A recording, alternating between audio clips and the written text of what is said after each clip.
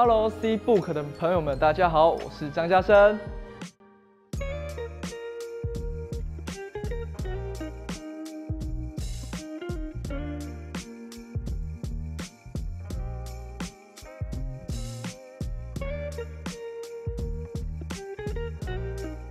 口才的部分，因为我以前当运动员的时候没有讲过这么多话，所以就是可能在很多专访或是记者朋友们问我问题的时候，我可能会卡住，或者是不知道自己要讲什么。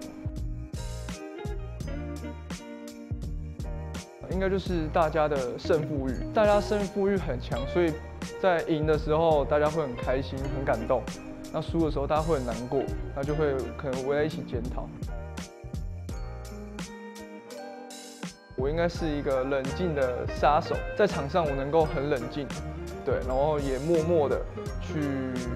攻击对方声音没有那么大但是我就是默默的付出型这种。我国中教练到现在一直还提醒着我的一句话就是我们现在